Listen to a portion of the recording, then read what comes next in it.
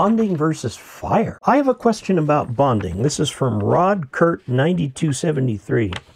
Can copper clamps be used to do bonding or does it mean using thermite or fire melting uh, connections? It's fire welding. It actually welds the bonded rod with the ground rod and is considered the gold standard for doing that. You can also use TIG welding with copper if you want. Variety of ways that you can do it. You want a good solid connection.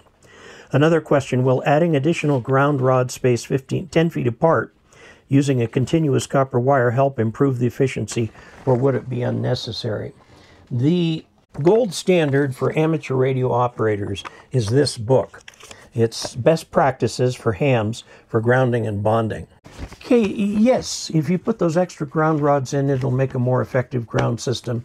In fact, the book recommends that they be spaced a certain distance apart, like the length of two ground rods apart or 16 feet. Somewhere in there would be just fine. If you want to overdo that, that's fine. Ground rods, I guess, are about 20 or 30 bucks a piece. They're not solid copper, they're steel and they have a layer of copper plated onto it. Okay. And because at RF and even the frequencies that lightning produce, it's the copper that's going to do most of the conducting.